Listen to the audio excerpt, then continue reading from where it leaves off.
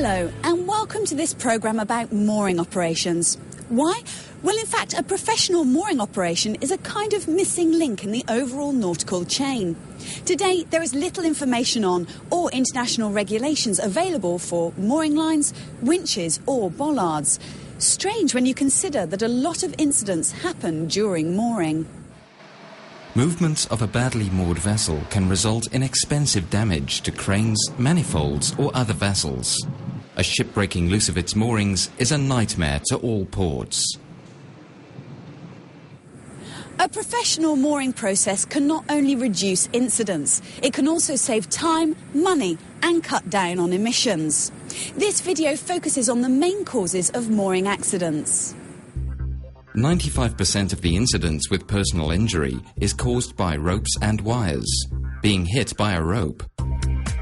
Just 5% is due to equipment failure. 60% of all those rope incidents happen during mooring operations. So, improving mooring operations reduces accidents and personal injuries. Unprofessional people uh, involved in mooring operations uh, do not see the safety dangers uh, uh that are actually there, that are existent. They do not know that things have to work together, that uh, the hands have to grip into each other to make a mooring as such safe, uh, a safe operation.